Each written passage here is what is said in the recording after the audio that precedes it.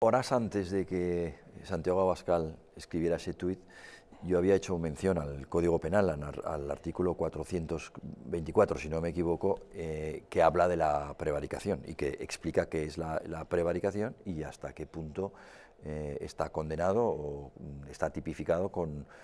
con penas de inhabilitación. Yo insisto en que un funcionario público que creo que mm, dicta actos administrativos, al final el CIS depende del gobierno y por lo tanto del, propio Estado, de la Administración, y por tanto son actos administrativos de un modo u otro,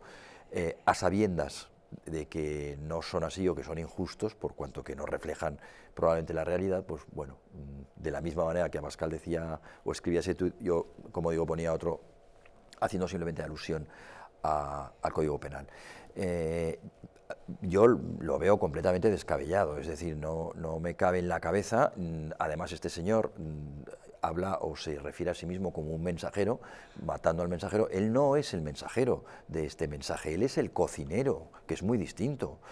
otra cosa es que, mm, pues hablásemos, yo qué sé, pues de Segur, cuando te envían, no, no, no, pero es que este señor ha sido quien ha hecho estas encuestas y quien las ha cocinado, o mejor dicho, según él, quien no las ha cocinado porque le quita todo tipo de sesgo que que el resto de las encuestas y de las compañías que encuestan pues la incluyen precisamente para obtener unos resultados más, más fidedignos.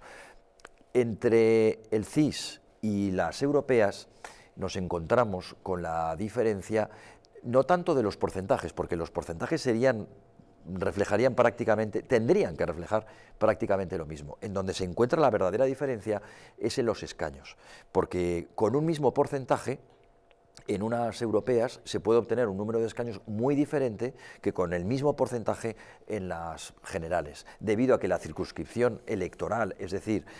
la urna, el, bote en donde acaban todos los votos eh, de los ciudadanos, en las europeas es tan grande como toda España y por lo tanto el sistema proporcional es casi puro o, sin casi es puro, la proporcionalidad, y en las, en las elecciones generales no hay un, no hay un gran bote o una gran urna donde acaban todos los votos y ahí desde una forma proporcional se dividen los escaños, se reparten los escaños. No, hay, un, hay una urna o un bote para entendernos por cada provincia y eso hace que en las provincias pequeñas haya un gran sesgo y no opere el sistema proporcional, sistema del que yo, respecto al cual yo estoy en contra, pero ahora no estamos hablando de eso, estamos hablando de si reflejan o no reflejan. Por lo tanto, mm, el hecho de que, como decimos, mm, los escaños no sean los mismos proporcionalmente, el reflejo del reparto de escaños en las europeas, en las elecciones europeas o en las encuestas y en las generales, no implica lo que acabamos de decir del señor Tezanos. El porcentaje debería ser el mismo, es decir, eh, no, no, no es de recibo, no, no tiene ningún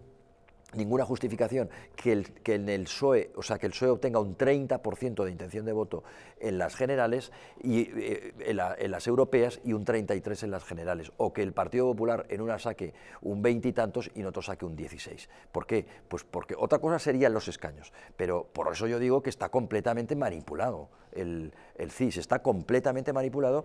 y lo veremos dentro de muy poco. Lo hemos, se, se comprobó en las europeas que se fueron por una distancia abismal y lo que sí que, perdón, lo vimos en las andaluzas, y yo, veré, y yo creo que eh,